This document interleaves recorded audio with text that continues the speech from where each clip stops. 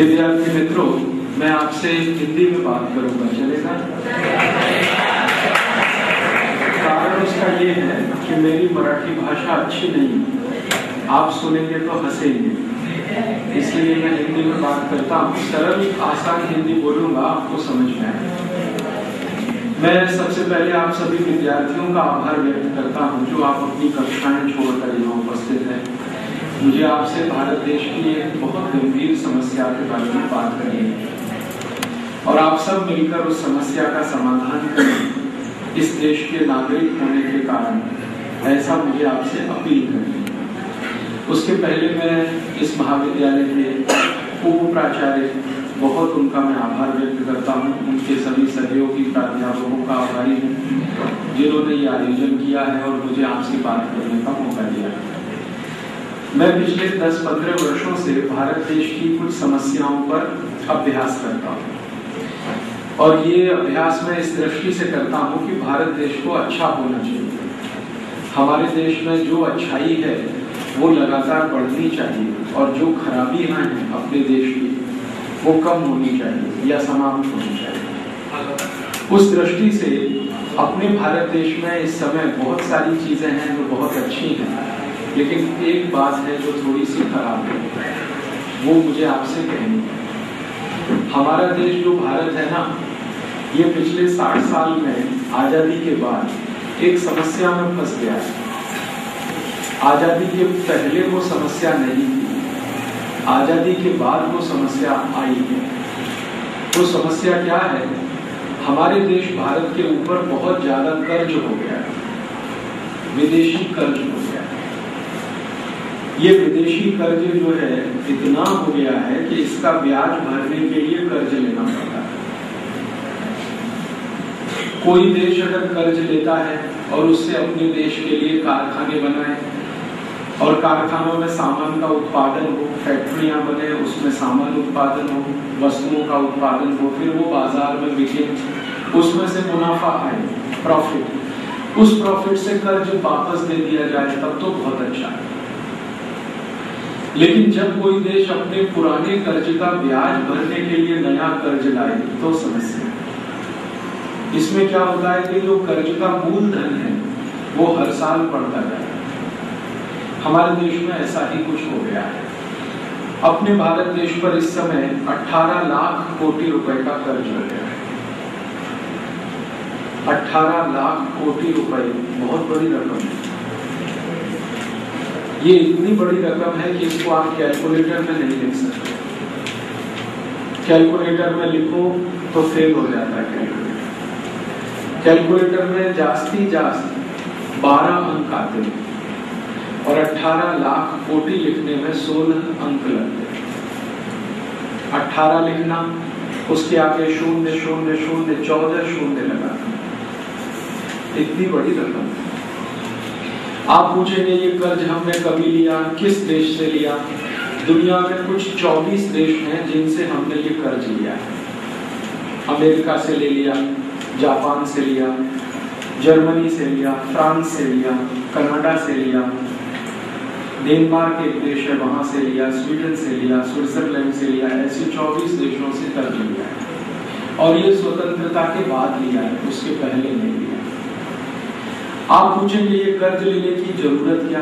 क्यों लिया हमने कारण उसका ये था कि जब हम स्वतंत्र हुए 15 अगस्त उन्नीस को तो अपने देश का खजाना खाली था, पैसा नहीं था अपने पास। आप बोलेंगे, कहा गया पैसा हमारा? हमारा सारा पैसा अंग्रेज़ों ने लूट लिया था। आपको मालूम है अंग्रेज़ों ने कितना लूटा था इस देश में से?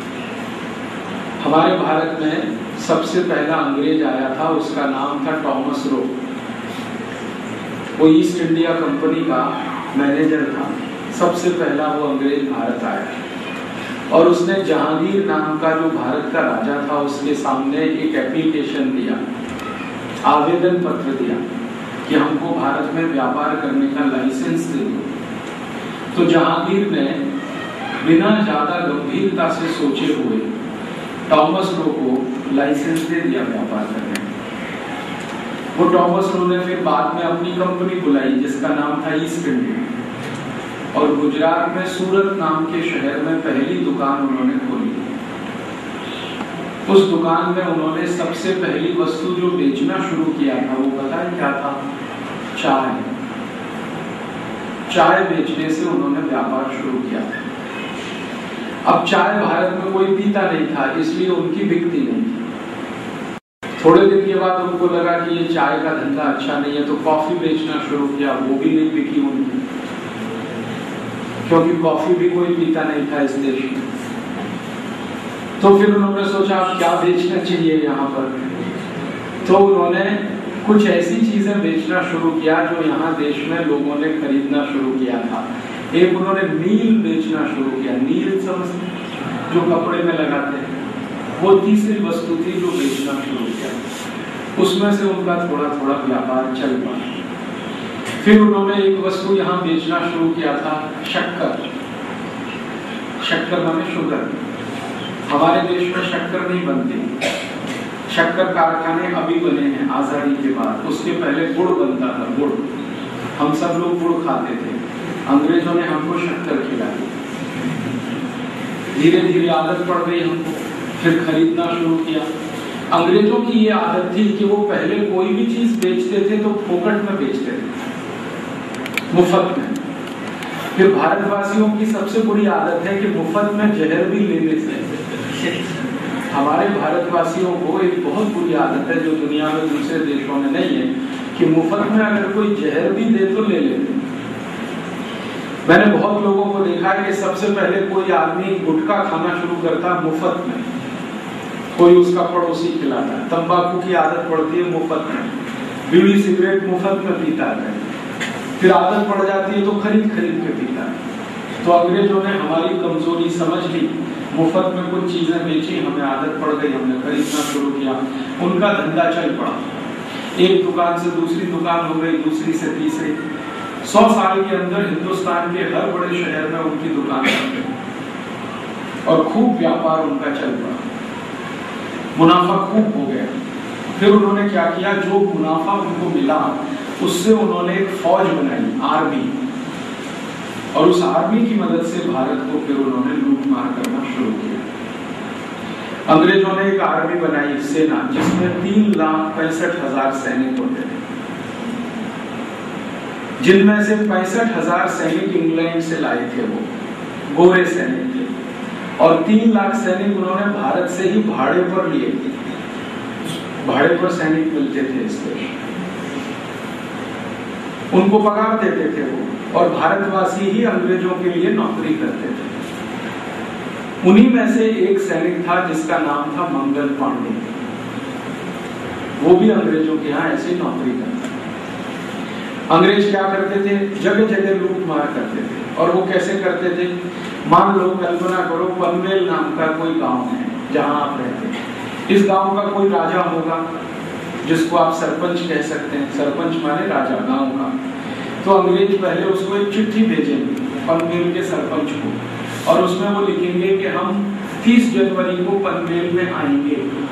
हमको एक हज़ार स्वर्ण मुद्राएँ चाहिए। स्वर्ण मुद्रा समझते गोल्ड कॉइन्स पहले रुपया नहीं चलता था, स्वर्ण मुद्रा चलती तो वो बोलेंगे एक हज़ार स्वर्ण मुद्रा चाहिए या दस हज़ार चाहिए।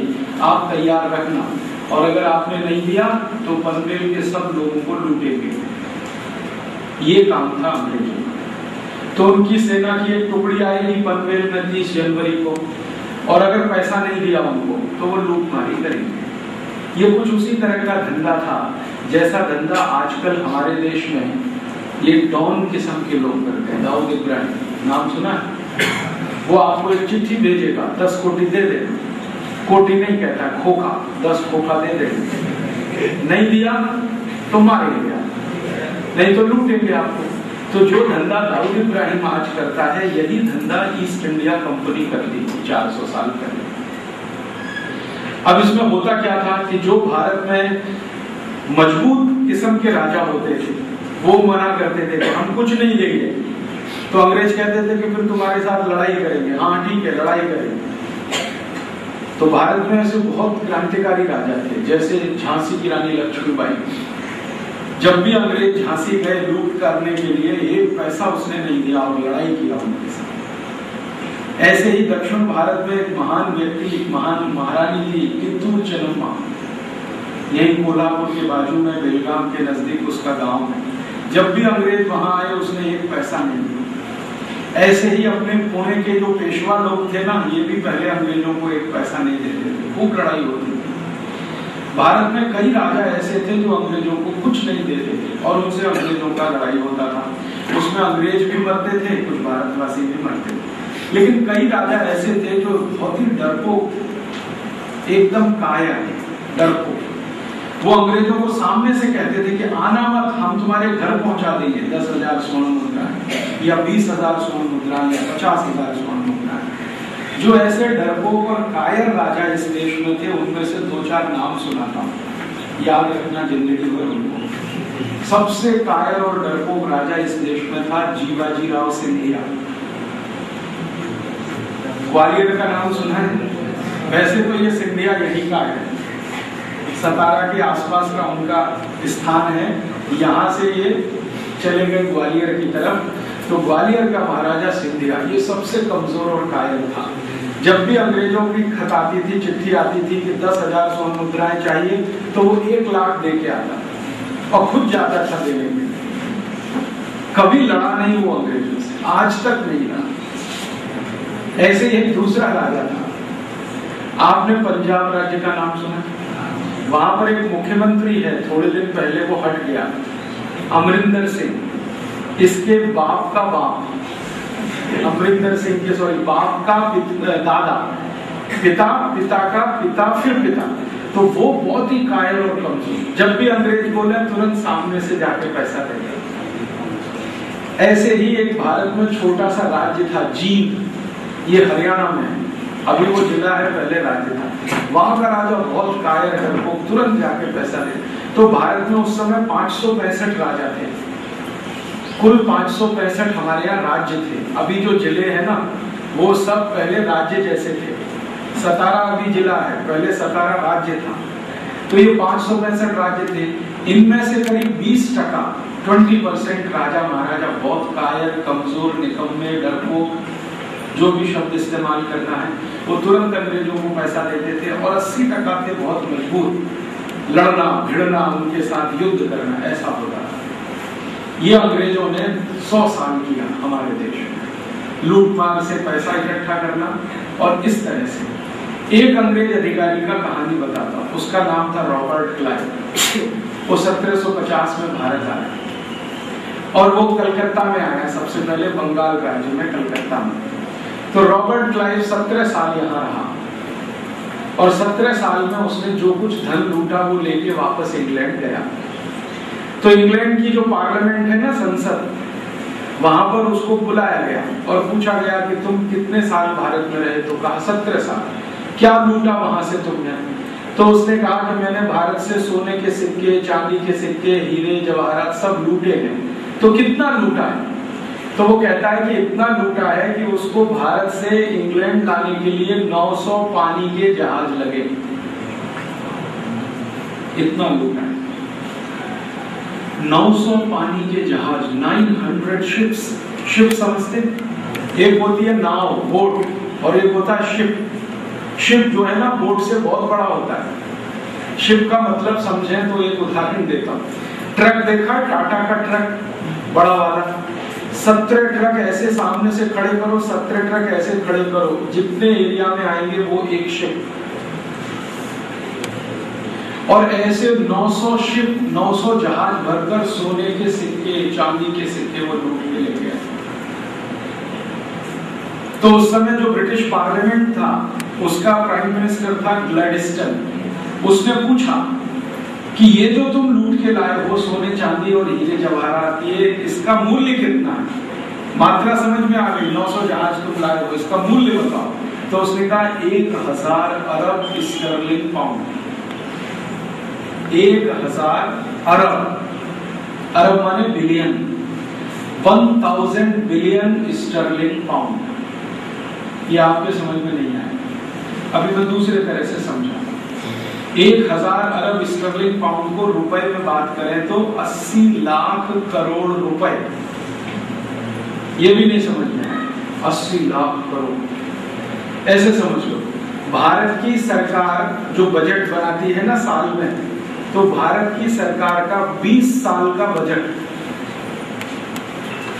और एक तरीके से समझा हमारे यहाँ पंचवार्षिक योजनाएँ बनती है। तो भारत की आठ पंचवार्षिक योजनाएँ बने उतना पैसा। और सरल समझाता हूँ भारत में सात लाख बत्तीस हज़ार गाँव है, है ना?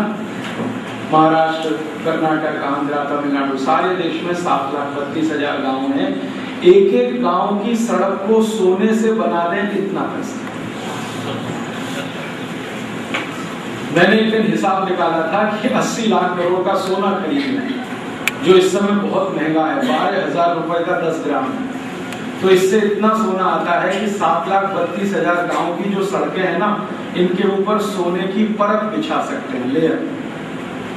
इतना पैसा एक अंग्रेज़ लूट ले गया, जिसका नाम था रॉबर्ट क्लाइव। और रॉबर्ट क्लाइव जैसे एक सौ चौरासी अंग्रेज़ अधिकारियों ने इस देश को लूटा 200 साल। एक रॉबर्ट क्लाइव था, एक वॉरेन हेस्टिंग्स था एक विलियम पेंटिंग था, एक डलहौजी था, एक लिलिथ को था। और आखिरी जो लुटेरा था, उसका नाम था माउंट बेटन तो टॉमस रो के जमाने से शुरू हो गए और आखिरी अंग्रेज़ माउंट बेटन तक इस देश का इतना धन लूटा उन्होंने, इतनी संपत्ति लूटी कि दुनिया में सोने की चिड़िया कहलाने वाला देश मिट्टी की चिड़िया है। इतना लूटा और ये सब धन जो लूट कर अंग्रेज़ ले गए, मैं रात दिन कभी कभी सोचता हूँ कि कोई दिन ऐसा आ जाए। हम हिंदुस्तानी लोग एक साथ खड़े हो जाएँ और अंग्रेज़ों के खिलाफ दुनिया की सबसे बड़ी अदालत, जिसको इंटरनेशनल कोर्ट कहते हैं, वहाँ मुकदमा दाखिल करें कि अंग्रेज़ों ने 200 साल जो भारत से लूटा है, वो वापस कर दो। ब्याज के सहित वापस। कर और अगर किसी ने किसी को लूटा तो वो अदालत जा सकता है, दरवाज़ा खुला हुआ है, और वहाँ मुकदमे का फैसला अगर अपने पक्ष में हुआ तो अंग्रेज़ों से पैसा वापस मिलेगा, और वो कितना होगा? अकेले रॉबर्ट क्लाइव का 80 लाख करोड़, और रॉबर्ट क्लाइव जैसे एक अंग्रेज़ अधिकारी इतना धन आएगा?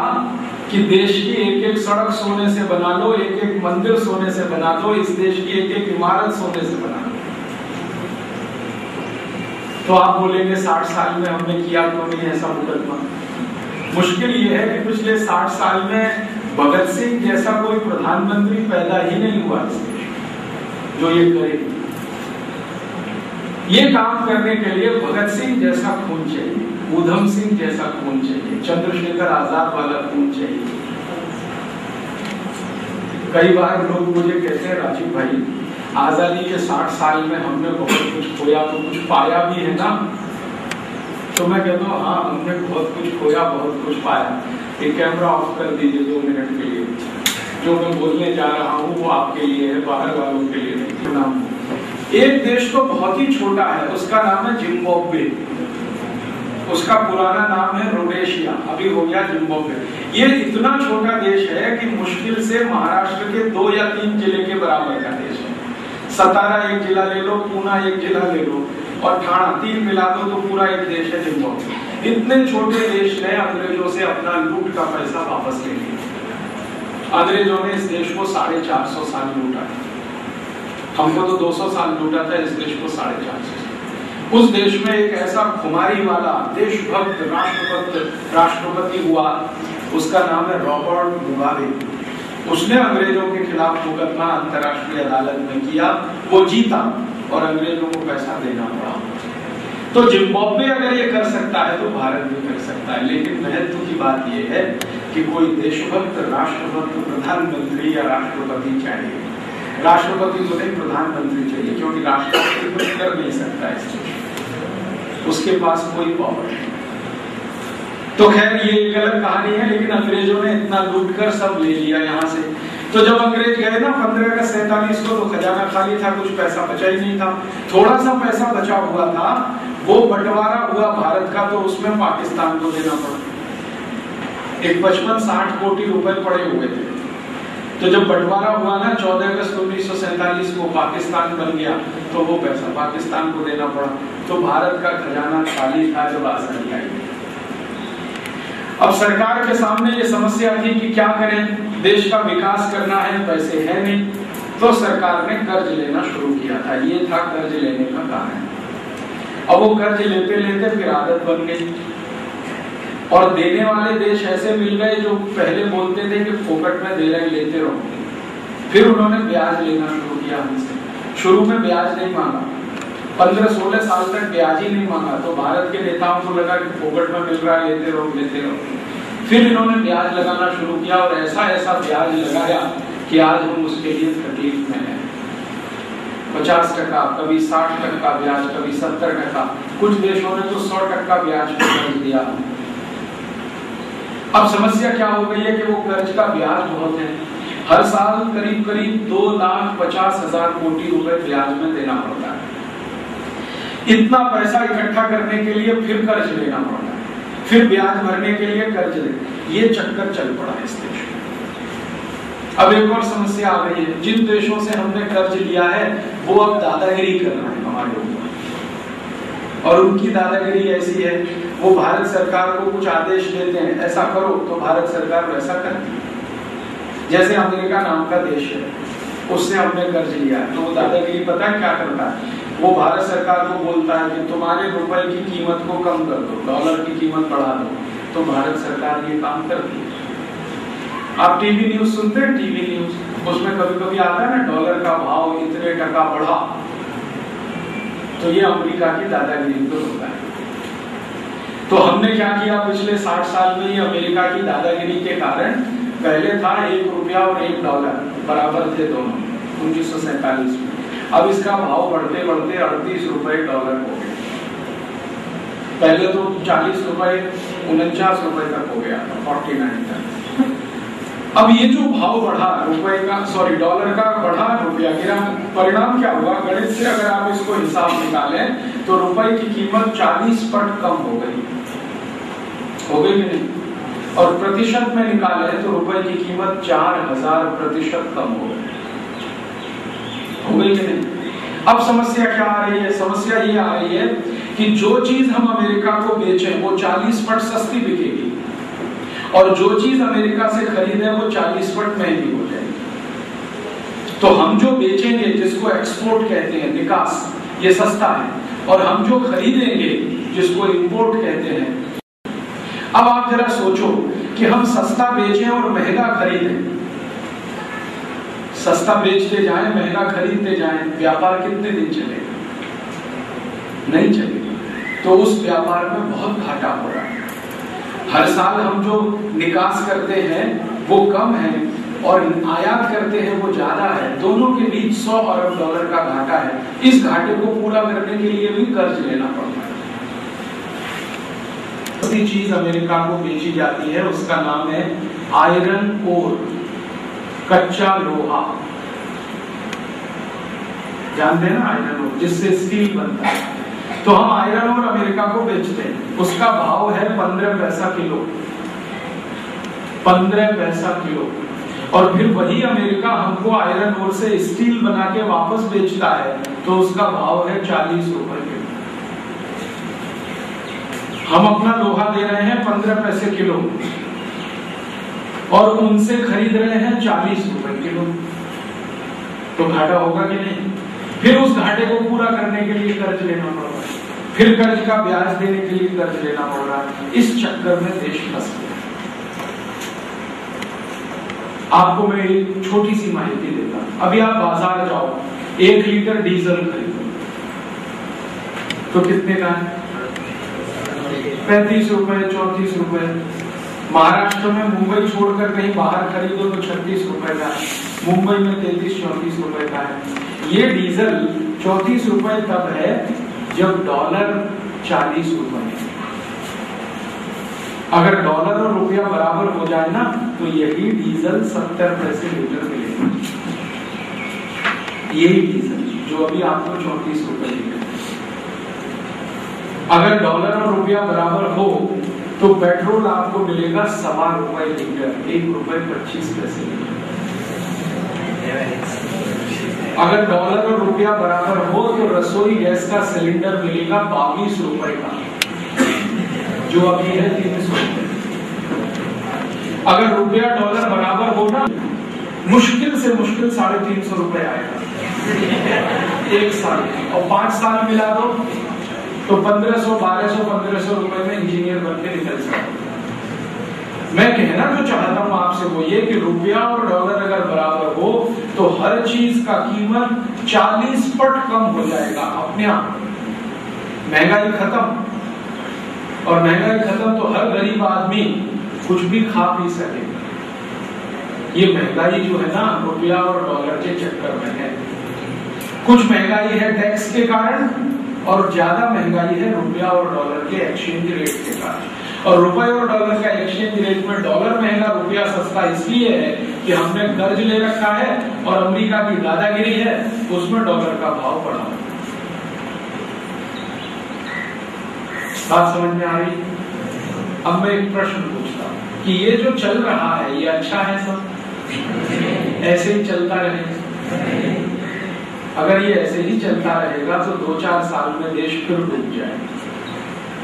क्योंकि ये जो कुछ चल रहा है ना, इसमें हर साल हमको दो लाख कोटि रुपए का नुकसान हो रहा है। हम एक्सपोर्ट सस्ता कर रहे हैं इंपोर्ट महँगा है। दो लाख कोटि रुपए हर साल देश को नुकसान हो रहा है। और एक दादागिरी आजकल चल पड़ी है अमेरिका की वो दादागिरी क्या है? जब भी हमारी सरकार उनसे कर्ज मांगने जाती है हमारी सरकार समय समय पे उनसे कर्ज मांगती है अमेरिका से। तो कभी अमेरिका बोलता है अच्छा ठीक है, आपको कर्ज मिलेगा, लेकिन हमारे देश की माने अमेरिका की कंपनियों को भारत में धंधा करने के लिए दरवाज़ा खोल दो। ये नई दादागिरी शुरू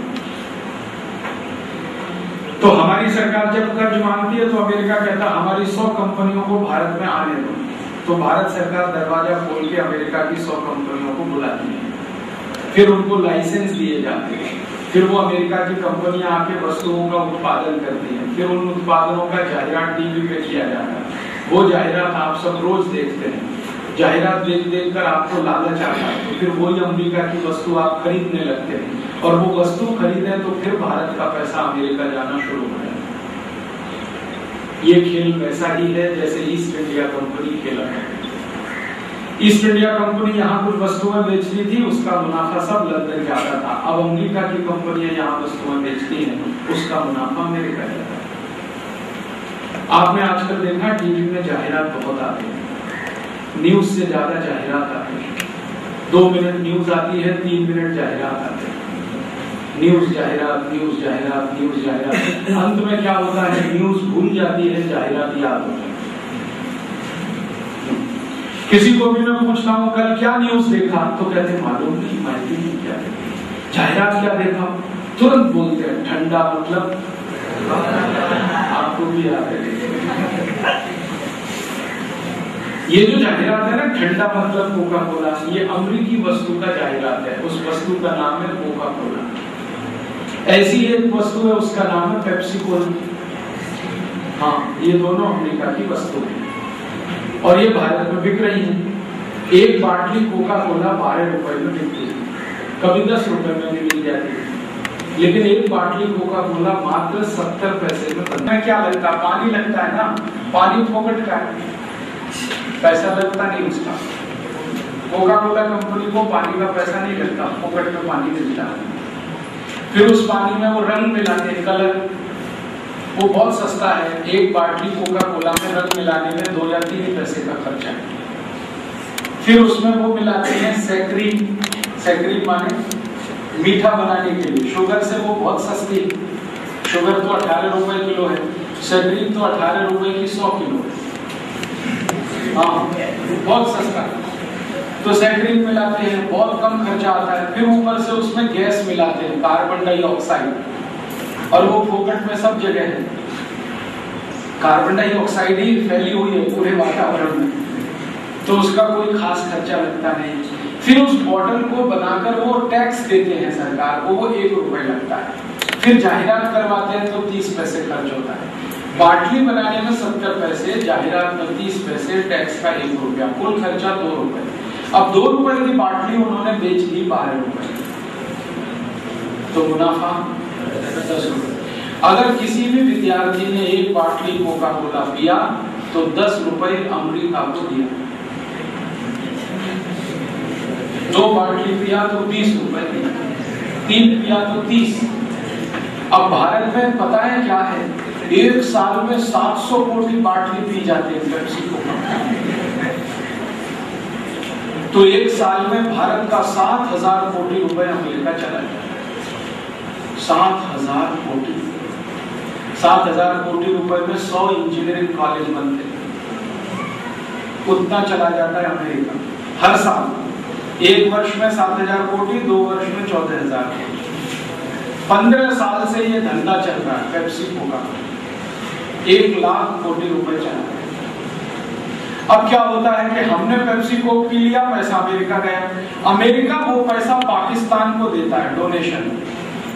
क्योंकि अमेरिका और पाकिस्तान की दोस्ती। है और वो आज से नहीं है, तब से है, जब से पाकिस्तान बना। ये जो जम्मू कश्मीर का सवाल है ना, ये अमेरिका ने उलझाया हुआ है। पाकिस्तान की दम नहीं है जो जम्मू कश्मीर पे भारत से टक्कर ले सके। वो अमेरिका का टेका मिला हुआ उसको सपोर्ट है। इसलिए ये मामला है। तो हम पैसा दे रहे हैं पेप्सी को पी के, अमरीका को अमरीका दे रहा है, पाकिस्तान को। पाकिस्तान वो पैसा देता है त्रासवादियों को। और त्रासवादी उस पैसे से बनाते हैं बम और ब्लास्ट करते हैं मुंबई में हम पीते हैं पेप्सी पैसा जाता है अमेरिका अमेरिका देता है पाकिस्तान को, पाकिस्तान त्रासवादियों को, त्रासवादी बम ब्लास्ट करते हैं, उसमें हमारे आपके भाई बहन मरते हैं और हम क्या करते हैं? पेप्सी पीते हैं और भारत माता की जय। कैसे होने वाली है भारत माता की सोचो। और मुझे इतना तकलीफ़ है, जो लोग पेप्सी को पीते हैं, वो सब भारत माता के दुश्मन देशद्रोही। लेकिन ये जो पेप्सी को पीने वाले देशद्रोही हैं, ये सब सुशिक्षित हैं एजुकेटेड मैंने आज तक किसी शेतकरी नागरिक को पेप्सी पीते नहीं देखा। वो क्यों नहीं पेप्सी पीता? क्योंकि सुशिक्षित नहीं। वो पढ़ने नहीं गया। बहुत अच्छा है। वो कभी पढ़ने जाता नहीं स्कूल, कॉलेज में तो इसलिए उसको मालूम भी नहीं है पेप्सी क्या है कोका कोला क्या वो तो ज़्यादा से ज़्यादा ऊस का रस पीता है। या नींबू की शिकंजी पीता है, या नारियल का पानी पीता है, या संतरे या मौसमी का रस पीता है। शेतकरी जो पढ़ा लिखा नहीं है, वो पेप्सी कोक नहीं पीता। उसका रस नींबू शिकंजी नारियल का पानी ये पीता है। और ये जो पढ़ा लिखा इडियट क्लास का आदमी इस देश में पैदा हुआ है, ये पेप्सी पीता है। Pepsi Coca Cola Thums Lipton उसको पूछो, भाई क्यों पीते हो पेप्सी? तो वो बोलता है, आमिर खान कहता है। अब आमिर खान क्यों कहता है, ठंडा मतलब कोका कोला क्योंकि उसको पैसा मिलता है। एक बार मैंने आमिर खान को ईमेल किया और उसको पूछा कि तुम ये जाहिरात क्यों करते हो, ठंडा मतलब कोका कोला तो उसने कहा, मुझे ये जाहिरात करने का सात कोटी रुपए मिलता है, इसलिए करते और आमिर खान ने मुझे बताया कि मैं साल में एक ही फ़िल्म बनाता उसमें तीन या चार कोटी मिलता है, एक साल में। और यहाँ पाँच मिनट में ठंडा मतलब कोका कोला बोलने का सात रोटी मिलता है। इसलिए मैंने ये धंधा शुरू किया आज। उसका ये धंधा है। फिर मैंने एक दिन आमिर खान को बहुत लंबा ईमेल किया कि तुम एक तरफ़ तो सरफरोश जैसी फ़िल्में बनाते हो जो त्रासवाद के खिलाफ है, और दूसरी तरफ़ तुम कोका कोला जाहिरात करके पैसा अमेरिका भेज रहे हो। अमेरिका पाकिस्तान को दे रहा है, पाकिस्तान त्रासवादियों को दे रहा है। ये तुम्हारा चक्कर क्या है? दोहरी ज़िंदगी क्यों है? तो कहता, मैं तो पैसे के लिए करता हूँ, कुछ भी करता हूँ। सरफरोश भी पैसे के लिए बनाई थी, इसलिए थोड़ी बनाई थी कि देशभक्ति ये जो सिनेमा में काम करने वाले एक्टर एक्ट्रेसेस है ये पैसे के लिए कुछ भी करते हैं। एक वो आपने देखा, सलमान खान, वो डांस करता है, लेकिन डांस करते करते शर्ट उतार देता है। शर्ट उतार के डांस करता एक बार मैंने पूछा, भाई, तुम शर्ट क्यों उतारते हो बार बार ये डांस करते समय? तुमको कुछ खाज हो गई है, कुछ भी कुछ चर्म रोग हुआ है, कुछ चामड़ी का रोग हुआ है, क्यों शर्ट उतारते हो? तो उसने कहा, मुझे शर्ट उतारने का सत्तर लाख रुपए मिलता है, इसलिए शर्ट उतार तब मैंने एक और ईमेल किया, उसका जवाब नहीं दिया उसने।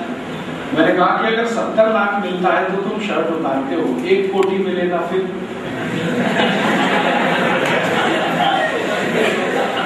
एक कोटी में क्या उतारो पैंट उतारेगा और दो कोटी मिला तो?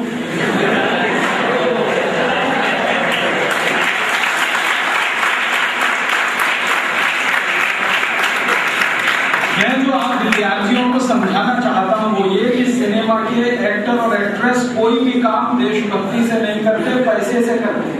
पैसा मिले तो करेंगे, नहीं तो नहीं करेंगे। तो पैसे के लिए धंधा करना है। उसमें वो जाहिरात होता है। जाहिरात सब देखते हैं और आप पेप्सी को पीते हैं। नुकसान देश का हो जाता है।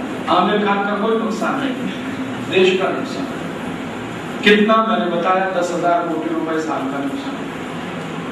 तो आप जरा सोचो, थोड़ा शांति से कि हम पेप्सी पिए, देश को दस हज़ार कोटी का नुकसान हो, पाकिस्तान को पैसा मिले, त्रासवादियों को पैसा मिले, त्रासवादी मज़बूत होते रहे, बम बनाते रहे, भारत में फोड़ते रहे। लोग यहाँ के मरते रहे ये अच्छा खेल है चल रहा है। अच्छा चलना चाहिए ये? तो बंद होना चाहिए ना ये खेल। कैसे बंद होगा?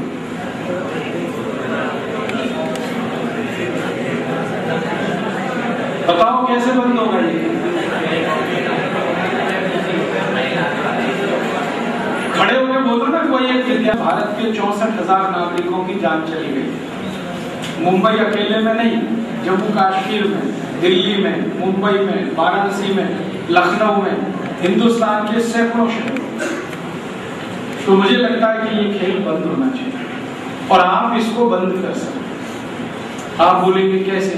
पेप्सी को मत पियो। बंद कर दो पीना। और आप जैसे करोड़ों हिंदुस्तानी पेप्सी को ना पिए कोटि कोटि भारतवासी इसको बंद कर दे पीना तो एक पैसा भी अमेरिका को नहीं मिलेगा। तो वो पाकिस्तान को नहीं दे सकेगा। तो पाकिस्तान से त्रासवादियों को नहीं मिलेगा। तो भारत माता सुरक्षित रहेगी, देश सुरक्षित तो आप सब आज से एक संकल्प ले लो कि हम पेप्सी को नहीं पिए ले सकते अब आप में से ज़्यादातर विद्यार्थी विज्ञान के हैं, ये मुझे पहले ही मालूम हो गया, इसलिए अब एक विज्ञान की माहिती दे देता हूँ। ये जो पेप्सी कोला है, कैसे बनता है? इसमें मिलाते हैं पानी पानी में सैक्रीन सैक्रीन के साथ कलर, उसके साथ मिलाते हैं कार्बन डाइऑक्साइड गैस।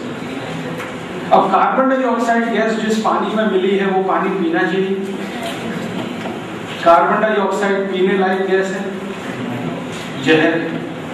आप पानी में मिला के बार बार कार्बन डाइऑक्साइड पिएँगे तो मृत्यु हो जाएगी। और ये जो कार्बन डाइऑक्साइड है ना, ये जब पानी में मिलाई जाती है तो पानी ज़्यादा देर टिक नहीं सकता। टिकने का मतलब समझते ज़्यादा देर ठीक नहीं रह सकता। तो फिर उस पानी को ठीक रखने के लिए उसमें कुछ और केमिकल मिलाने पड़ते जैसे केमिकल मिलाना पड़ता उसका नाम है फॉस्फोरिक एसिड।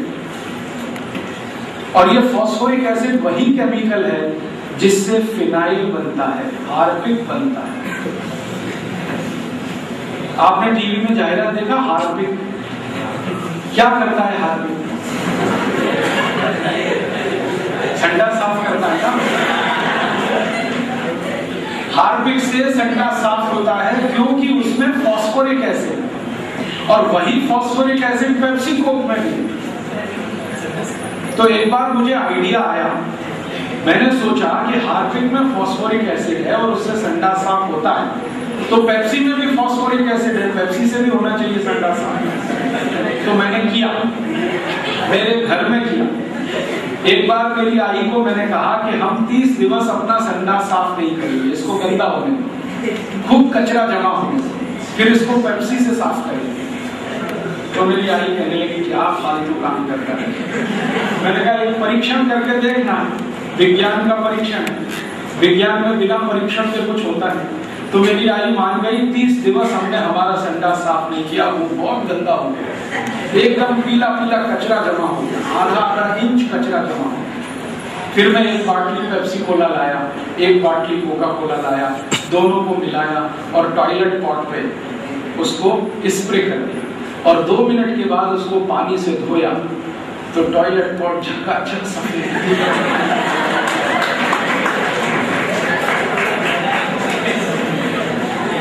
वो दिन से मैंने जाहिरात करना शुरू किया, ठंडा मतलब toilet clean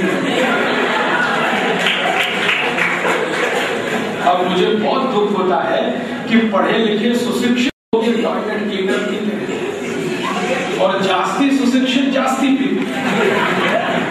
engineer, doctor chartered accountant, professor, manager और अकेले नहीं पीते, घर में आने वाले अतिथि को भी पिलाते मेहमान को भी पिलाते एक तरफ़ कहते हैं, मेहमान देवता होता है, देवताओं को ठंडा साफ़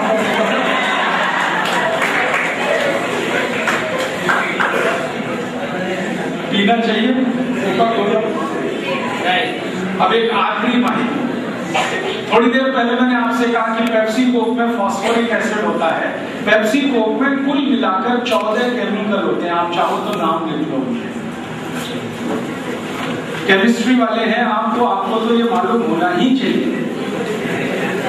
Pepsi Coca Cola Thums Up Limca, Citra, Mirinda, ये जितने भी सॉफ्ट ड्रिंक हैं, सब में चौदह केमिकल हैं टोटल पहला केमिकल तो मैंने बोल दिया कार्बन डाइऑक्साइड दूसरा है फॉस्फोरिक एसिड तीसरा है सोडियम मोनोग्लूटामेट सोडियम मोनोग्लूटामेट चौथा केमिकल है पोटेशियम सॉर्बेट पांचवा केमिकल है ब्रोमिनेटेड वेजिटेबल ऑयल छठा केमिकल है मिथाइल बेंजीन ये सब केमिस्ट्री के नाम है, आप सब जानते हैं मिथाइल बेंजीन सातवां केमिकल है मेथिल बेंजोएट आठवां केमिकल का नाम ध्यान से सुनना। वो है D D T D D T DDT समझते हैं? मच्छर मारने वाली दवा। वो पेप्सी में है कोक में फिर उसके बाद आठवां केमिकल है एंडोसल्फान शेतकरी उसको वापरते हैं अपने खेती में, जंतु मारने के लिए एंडोसल्फान फिर एक है मेलाथियान फिर एक केमिकल है डाइक्रोमेट। फिर एक है मोनोप्रोटोफॉस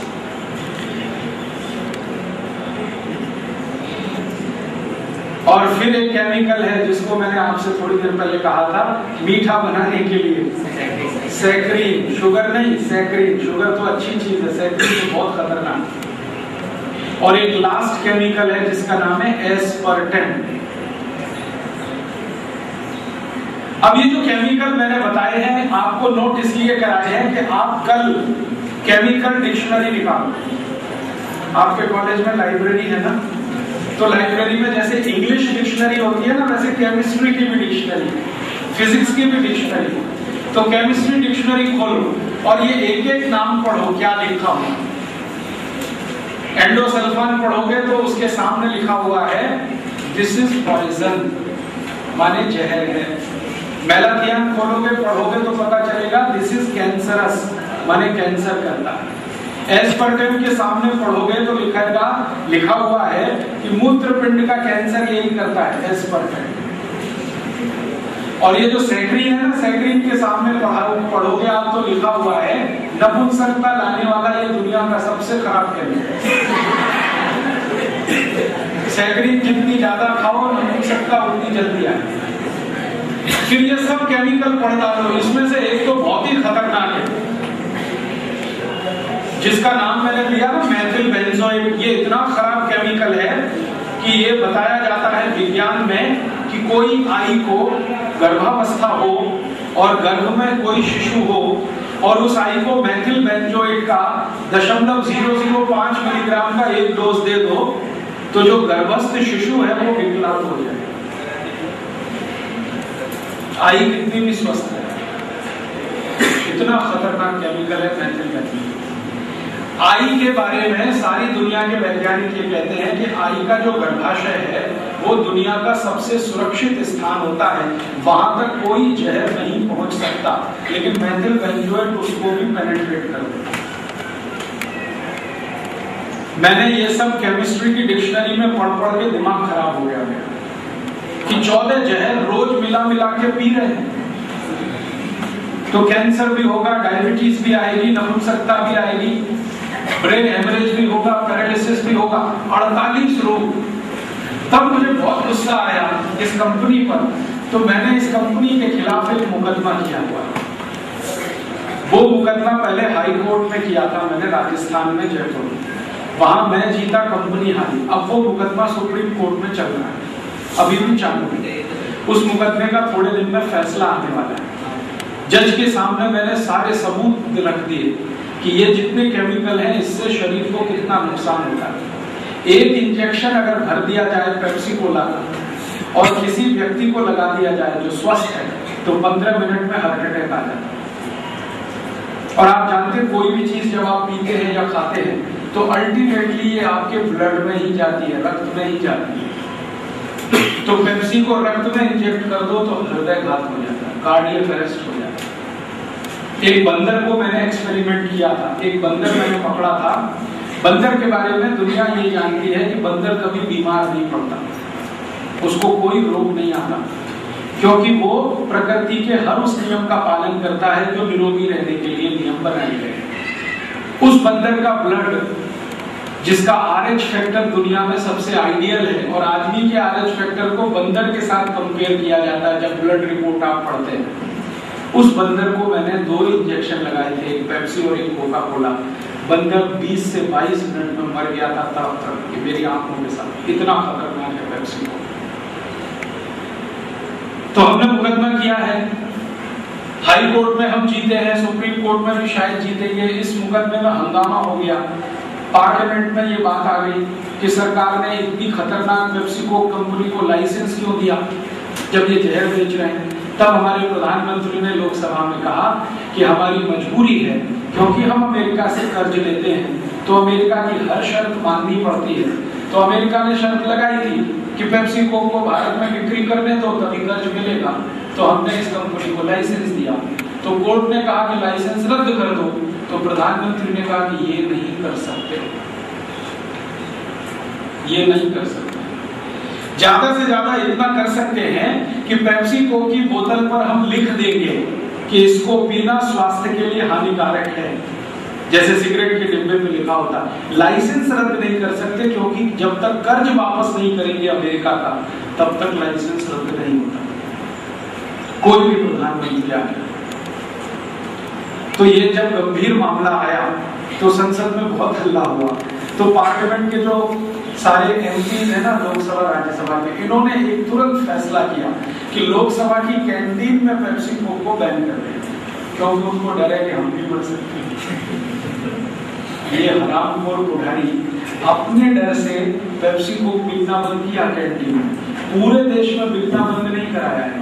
वो अभी भी चालू है। माने जनता मरे तो मरे, पुढ़ारी ज़िंदा रहनी चाहिए। ऐसा है। तब एक दिन मैंने क्या किया? उस समय जब ये हमने मुकदमा माल बिकेगा नहीं तो ये कंपनी अपने आप अमेरिका भाग जाएगी। यही सरल तरीका है। और ये तरीका उन्होंने कहा कि मेरा नहीं है जो मैं बता रहा हूँ। ये लोकमान्य तिलक का बताया हुआ है। आपको मालूम है लोकमान्य तिलक, जिन्होंने आज़ादी की लड़ाई में सबसे ज़्यादा काम किया? 1920 के आसपास उन्होंने एक स्वदेशी आंदोलन किया। वैसे तो 1905 से शुरू हो गया था। तो बहुत लोग पूछते थे, लोकमान्य तिलक को कि आप ये स्वदेशी स्वदेशी क्यों बोलते हैं? स्वदेशी वापरो स्वदेशी वापरो। तो तिलक कहते थे कि ईस्ट इंडिया कंपनी को भगाने का यही तरीका है, स्वदेशी वापरो। माने अंग्रेज़ी माल मत खरीदो ईस्ट इंडिया कंपनी भाग जाएगी। और उनके बताए हुए मार्ग पर गांधी जी ने काम किया। और ये देश आज़ाद हुआ। अंग्रेज़ गए ईस्ट इंडिया कंपनी भी गई तो मुझे यही भरोसा है कि हम भी वही मार्ग पर अगर चले पेप्सी को बहिष्कार करें ना भी है तो एक दिन ये कंपनी भी भाग जाएगी। और देश को कुछ फ़ायदा तो हो ही जाए, कम से कम नुकसान तो नहीं हो। तो आप इस काम में कुछ मदद करेंगे? आप बोलेंगे, जी, क्या मदद करें? आप इतना ही करो कि आप पेप्सी को मत पियो। और आपके आई बड़ी को कहो, वो भी ना पिए। और कोई फोकट में दे तो भी मत पियो। और किसी को पीता हुआ देखो तो इतना ज़रूर कहो एजुकेटेड इडियट ये संडास साफ़ करने की चीज़ क्यों पी रहा है तो जब आप उसको बोलोगे ना तो उसको बहुत खराब लगेगा। क्योंकि एजुकेटेड आदमी जो होता है ना, वो बहुत अहंकारी होता है। वो जानता है कि दुनिया का सब ज्ञान उसी के पास है। होता वो महामूर्ख। मेरा पंद्रह साल का तजुर्बा है, जो अनएजुकेटेड है। वो बहुत ज्ञानी। है पहले से ही शिरडी का रस बने उसका रस पी रहा जो एजुकेटेड है, वही पी रहा है संडास साफ़ करने का पानी। तो वो बोलेगा, तुमको कैसे माहिती है ये संडास साफ़ करने का? तो उसको कहोगे, तुम एक दिन अपनी संडास साफ़ करके देख लो ना संस्कृत में एक सूत्र है प्रत्यक्षम किम प्रमाणम जो प्रत्यक्ष है, उसके प्रमाण की ज़रूरत क्या? तो वो एक दिन भी साफ़ करेगा संडा बहुत अच्छा साफ़ होता है, क्योंकि मैं सौ बार कर चुका हूँ। और ये माहिती फैलती जाएगी। ठंडा मतलब टॉयलेट क्लीनर ठंडा मतलब टॉयलेट क्लीनर ठंडा मतलब टॉयलेट क्लीनर परिणाम क्या आएगा? बिक्री कम होती जाएगी, एक दिन कंपनी भाग जाएगी।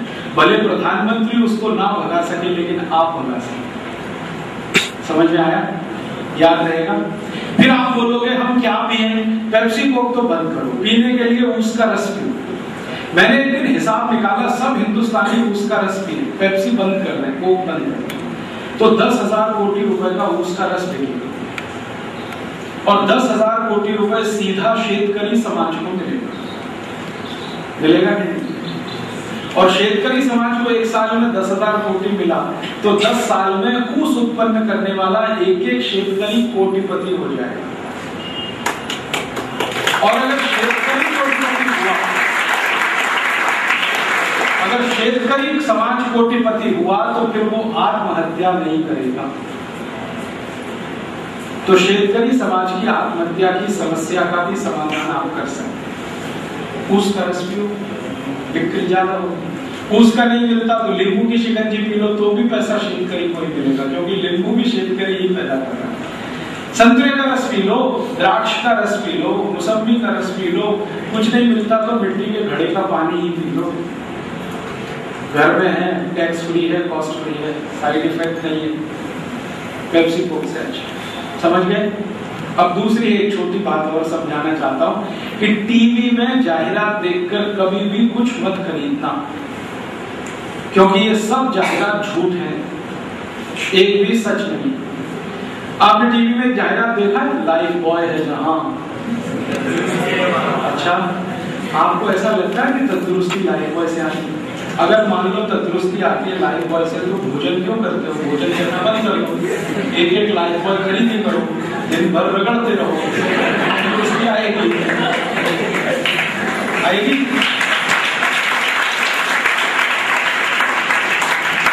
ये लाइफ बॉय परदेशी साधन है, भारत का नहीं। ये भी ऐसी दादागिरी में आई हुई कंपनी है। जैसे पेप्सी कोका कोला आया ना अमेरिका की दादागिरी में, ऐसी ही एक कंपनी आई है इस देश में, उसका नाम है यूनिलीवर। वो हॉलैंड देश की है और ये हॉलैंड की दादागिरी में आई है। हमने हॉलैंड से भी कर्ज ले रखा है, इसलिए ये कंपनी आई है। ये बेचती है लाइफ बॉय एक लाइफ बॉय बनता है नब्बे पैसे का, नब्बे पैसे का। और वो बेचते हैं उसको बारह रुपए लूट लूट के ले जा रहे हैं यही कंपनी बेचती है लक्स एक लक्स बनता है, एक रुपए चालीस पैसे का बेचते हैं, चौदह रुपए। फिर यही कंपनी बेचती है पियर्स पियर्स ढाई रुपए का बनता है पच्चीस रुपए का बेचते हैं। इसी कंपनी का एक साबुन है डव वो चालीस रुपए का सौ ग्राम साबुन है, चार सौ रुपए किलो। गाय के दूध से महँगा साबुन। गाय का दूध डेढ़ सौ रुपए किलो, साबुन चार सौ रुपए। और ये जो पढ़े लिखे इडियट लोग हैं ना, ये गाय का दूध नहीं खाते। कहते इससे कोलेस्ट्रॉल बढ़ता है।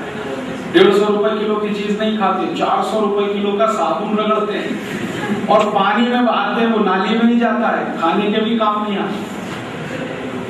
आप ये मूर्खाई मत कर। ये लाइफ बॉय मत लगा क्योंकि इससे अठारह हज़ार कोटी रुपए देश को नुकसान, दर वर्ष। तो आप बोलेंगे, फिर कौन सा साबुन लगाना? मेरी मानो तो बिना साबुन के नहाना हाँ? क्या तकलीफ़ है? आपको एक सवाल पूछता आपको मालूम है भारत देश में त्योहार आता है, महाशिवरात्रि? उस दिन शंकर भगवान को स्नान कराते हैं। किससे कराते हैं? कि साबुन से। शंकर जी लक्ष्य से नहाते मालूम और पार्वती लाइफ बॉय लगाते कभी आपने ये सोचा कि भगवान को दूध से क्यों नहलाते साबुन से क्यों नहीं नहलाते सोचा क्यों आप विज्ञान वाले हैं, इसलिए मैं आपको एक जानकारी देना चाहता हूँ। दूध से ही क्यों नहलाते हैं भगवान को? साबुन से क्यों नहीं नहलाते? स्नान क्यों किया जाता है पहले तो ये सवाल? क्यों करते हैं स्नान? तो आप कहोगे शरीर की स्वच्छता के लिए। स्वच्छता का मतलब क्या है? मतलब ये है कि सवेरे से शाम तक आप जो इधर उधर भाग दौड़ी करते रहते हैं, इसमें धूल और धुएँ के जो छोटे छोटे कण हैं पार्टिकल्स सस्पेंडेड पार्टिकल्स ये आपकी त्वचा में अंदर घुसते रहते हैं। त्वचा में छोटे छोटे रोम छिद्र हैं, करोड़ों की संख्या में। तो इनमें ये डस्ट पार्टिकल घुस जाते हैं। तो ये त्वचा के जो रोम छिद्र हैं, ये बंद हो जाते हैं। और ये बंद हुए तो पसीना नहीं निकलता। पसीना नहीं निकले निकले तो बॉडी टेम्परेचर मेंटेन नहीं रह सकता। पसीना निकलना बहुत ज़रूरी है। तो बॉडी टेम्परेचर मेंटेन नहीं होगा। बॉडी टेम्परेचर मेंटेन नहीं होगा तो पैरालिसिस हो सकता है। ब्रेन एवरेज हो सकता है। इसलिए हमारे दिमाग में, मस्तिष्क के पीछे के भाग में एक ग्रंथि होती है जिसको हम कहते हैं हाइपोथैलेमस ग्रंथियाँ तो आप जानते हैं ना। ग्लैंड्स तो हाइपोथैलेमस नाम की ग्लैंड है। ये ग्लैंड है जो बॉडी के टेम्परेचर को कंट्रोल करने के लिए है। और जब बॉडी टेम्परेचर अंदर से बढ़ता है तो ये पसीने को बाहर छोड़ती है ताकि आपका टेम्परेचर मेंटेन हो जाए। जैसे ही पसीना निकलेगा, शरीर ठंडा हो जाएगा। ठीक है? अब ये पसीना निकलने वाले छेदों में अगर धूल घुसी हुई है, मिट्टी घुसी हुई है तो कैसे अंदर की मिट्टी गंदगी निकलती है यही है ना? अब अंदर की मिट्टी और गंदगी निकालने के लिए क्या चाहिए आप सब विज्ञान पढ़ते हैं। फिजिक्स में आपने पढ़ा है सरफेस टेंशन तो बस वही की ये कहानी है सरफेस टेंशन आप जानते हैं ये हमारी स्किन एक सरफेस है। ये त्वचा जो है ना, एक तरह का सरफेस है। इसमें टेंशन है, हर एक सरफेस में टेंशन है। तो ये टेंशन बढ़ता बढ़ता और घटता है। तो अगर त्वचा पे सरफेस टेंशन बढ़ गया तो क्या होगा? ये त्वचा संकुचित होगी, ऐसे कर तो ये जो मिट्टी धूल घुसी हुई है, ये अंदर जाएगी। और सरफेस टेंशन कम हुआ तो ये त्वचा ऐसे खुलेगी। और धूल मिट्टी बाहर आएगी। तो स्नान करते समय सरफेस का टेंशन कम किया जाता है, माने त्वचा का टेंशन कम किया जाता है, ताकि मिट्टी बाहर निकले। और सरफेस का टेंशन कम करने की सबसे अच्छी चीज़ दुनिया में कोई है तो वो दूध है, दूध। आप एक प्रयोग करो, आज घर जाओ, थोड़ा दूध ले लो, चेहरे पे लगाओ। और फिर रू है ना, कापूस, उससे चेहरा पोछो तो कापूस एकदम काला काला हो जाए।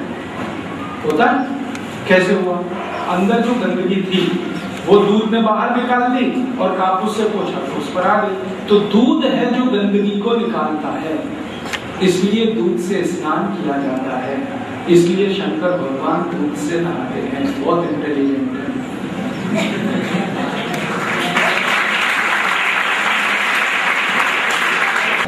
साबुन पता है क्या है? साबुन है कास्टिक सोडा सोडियम हाइड्रोक्साइड अब सोडियम हाइड्रोक्साइड को रगड़ोगे तो ये तो अंदर घुसता है, त्वचा में। तो सब छिद्र बंद कर देता है।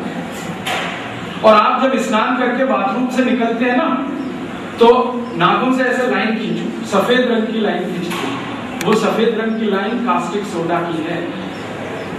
और ज़्यादा कास्टिक सोडा लगा लिया तो त्वचा पर एक रोग आता है, जिसका नाम है एक्सीमा सोराइसिस, इचियोसिस। साबुन से ये सब रोग होते हैं। तो कोई भगवान साबुन से नहीं नहाता। सब दूध से नहाते तो आप भी नहाओ दूध से नहाओ। भारत में एक पुरानी कहावत है, दूधो नहाओ, पूतो फलो। कभी किसी ने ये नहीं कहा, लक्स लगाओ, पूतो फलो। या लाइफ बॉय से नहाओ दूध से नहाओ। तो आप कहेंगे, दूध बहुत महँगा है। साबुन से सस्ता है। दूध का हिसाब निकालो एक लीटर दूध कितने का? बीस रुपए का? पच्चीस का मान लो। एक किलो दूध पच्चीस का अच्छा क्वालिटी और एक किलो साबुन, चार सौ रुपए का। और अगर पंद्रह रुपए का सौ ग्राम साबुन खरीदो तो भी एक किलो साबुन डेढ़ सौ रुपए का। तो डेढ़ सौ रुपए किलो साबुन, पच्चीस रुपए किलो दूध क्या सस्ता है?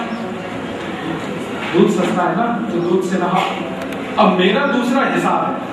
कि सब दूध से नहाने लगे हैं इस देश में तो दूध की बिक्री बढ़ेगी तो मुनाफा सब शेतकरी समाज को ही जाएगा। क्योंकि दूध पैदा करने की ताकत शेतकरी समाज में ही है।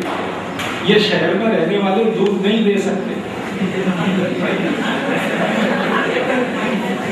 ये तो कार्बन डाइऑक्साइड देते हैं, अपनी मारुति कार में से। धुआँ निकालते हैं, मारते हैं आपको। ये तो शेतकरी है, जो जानवर पालता है, गाय, भैंस रखता है तो दूध मिलता है। तो पैसा शेतकरी को मिलेगा तो और ज़्यादा गाय पालेगा, और ज़्यादा भैंस पालेगा तो दूध की बिक्री बढ़ेगी। तो अपने को दूध की ही बिक्री बढ़ानी है, दारू की नहीं। तो नहाओगे दूध से? अब आप बोलोगे, नहाए कैसे? तरीका मैं बता देता हूँ, बहुत सारे। दो चमची दूध लगता है, बस नहाने दो चम्मच है ना, चम्मच। टी स्पून, इतना ही दूध लगता है। ज़्यादा नहीं चाहिए दो चम्मच दूध ले लेना, बिना गर्म किया हुआ, ठीक है? और उसको शरीर में ऐसे लगाना जैसे तेल लगाते तेल मालिश करते ना, ऐसे दूध मालिश करना। और दो मिनट के बाद पानी से नहाना सिर्फ़ दो मिनट। तो सारा मैल और गंदगी शरीर का जाता हुआ दिखेगा। और दूध से नहाएँगे तो चार फ़ायदे पहला फ़ायदा कि ये जो त्वचा है ना, ये एकदम नरम रहेगी, सॉफ्ट। और त्वचा नरम रहेगी तो कभी चर्म रोग नहीं आएगा। दूसरा फ़ायदा है, दूध से नहाओ तो बिक्री दूध की बढ़ेगी तो मुनाफा शेतकरी को तीसरा फ़ायदा बहुत अद्भुत है कि जो दूध लगाया तो चमड़ी एकदम नरम है तो फेयर एंड लवली की ज़रूरत नहीं। फेयर एंड लवली का बहुत खर्चा। 25 ग्राम फेयर एंड लवली चालीस रुपए की। 50 ग्राम अस्सी रुपए की 100 ग्राम 160 की, एक किलो सोलह सौ रुपए की फेयर एंड लवली। चार सौ रुपए किलो बादाम, सोलह सौ रुपए किलो फेयर एंड लवली। दो सौ रुपए किलो काजू, सोलह सौ रुपए किलो फेयर एंड लवली। डेढ़ सौ रुपए किलो गाय का दूध, सोलह सौ रुपए किलो फेयर एंड लवली। पढ़े लिखे मीडियट क्लास के लोग काजू बादाम नहीं खा रहे, फेयर एंड लवली लगा रहे। और पूछो क्यों लगा रहे हो? तो कहते गोरापन आता है इससे किसने कहा कि फेयर एंड लवली लगा के कोई गोरा होता है? टीवी जायदाद देता है ना? मैंने एक बार मेरे गाँव में एक मशी को फेयर एंड लवली लगाया। और चार साल लगाया, रगड़ रगड़ के लगाया। वो आज तक काली की काली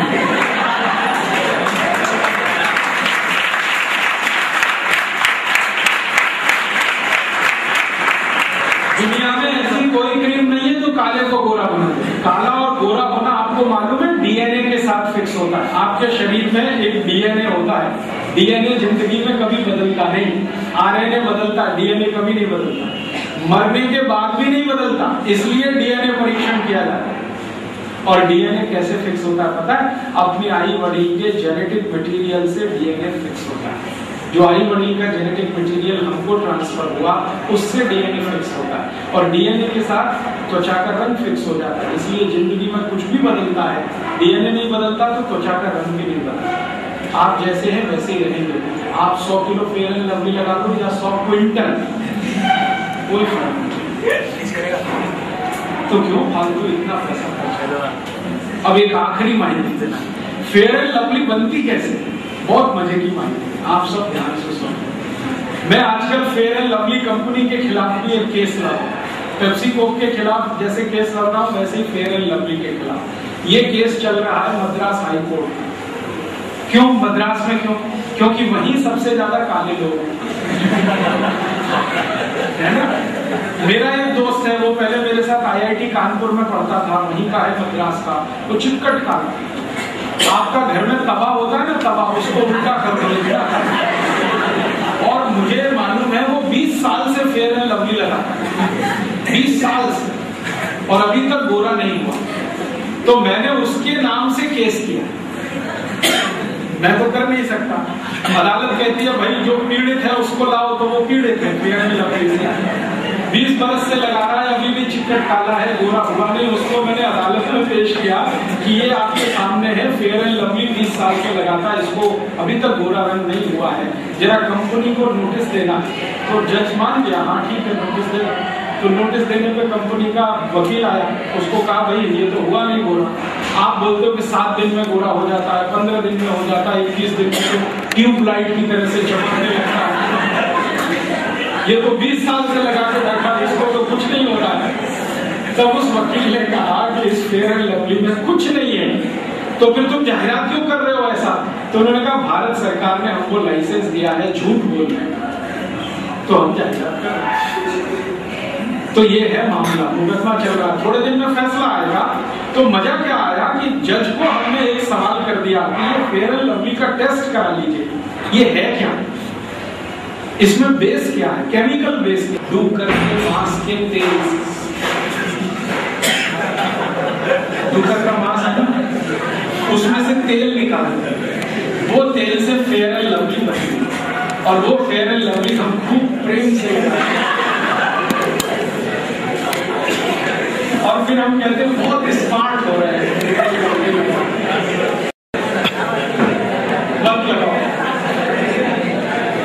तो आप बोलोगे फिर स्मार्टनेस कैसे आएगी मैं आपको जो गहरी बात कहने आया हूँ ये कि किसी की स्मार्टनेस क्रीम पाउडर लिपस्टिक इससे नहीं आती। स्मार्टनेस आती है गुण, कर्म और स्वभाव से। आपके गुण बहुत अच्छे बहुत अच्छे गुण आप में है। कर्म बहुत अच्छा करते हैं आप और स्वभाव आपका बहुत अच्छा है तो आपसे ज़्यादा स्मार्ट दुनिया में कोई क्योंकि ये जो त्वचा है ना ये तो नश्वर है। आज है, कल नहीं रहने वाली अभी आप जवान हो, थोड़े दिन में बूढ़े हो जाओगे, मर जाओगे तो आपको जला के फेंक देंगे। मरने के बाद एक घंटे भी नहीं रखते हाँ मरने के पहले गले मिल मिल के प्रेम करते हैं। मरते कहते लेके जाओ, जल्दी हटाओ, खाली करो ये घर। और जब आपको जला दिया जाएगा तो 60-70 किलो का शरीर 20 ग्राम मिट्टी में बदल जाता है। मात्र 20 ग्राम। और उस मिट्टी को मैंने टेस्ट किया तो उसमें दो ही केमिकल निकलते हैं फॉस्फोरस और एक केमिकल कैल्शियम तीसरा कुछ निकलता भी नहीं। वो मिट्टी है बीस ग्राम। उस पर इतना गर्व कर रहे हो कि हम गोरे हैं, बहुत स्मार्ट हैं मूर्खता है। इसलिए भारतीय शास्त्रों में कहा गया है, शरीर को प्रेम मत करो, आत्मा को प्रेम करो। क्योंकि आत्मा तो आत्मा को प्रेम करो, आत्मा न काली है, न गोरी है। आत्मा को न कोई मार सकता है, न कोई उसको चोट पहुँचा सकता है, ये नश्वर है। ये भगवान कृष्ण ने गीता में कहा, अर्जुन को, मैंने नहीं कहा, कृष्ण ने कहा, उनकी तो मानो। कृष्ण को मत मानो, कृष्ण की मानो। और अगर कृष्ण की मानो तो सब कुछ आत्म तत्व है। तो शरीर में इतना मत बसो। शरीर पर इतना घमंड मत करो कि हम बहुत सुंदर हैं। ये सुंदरता किसी की टिकती नहीं है। किसी की नहीं टिकती। गुण सबके टिके हमारे भारत में पता क्या होता? कोई मर गया तो उसको याद करते हो, कितना मेहनती था, या कितना देशभक्त था, कितना स्वदेश भक्त था, कितना धर्म प्रेमी था, ऐसे याद किया जाता किसी को।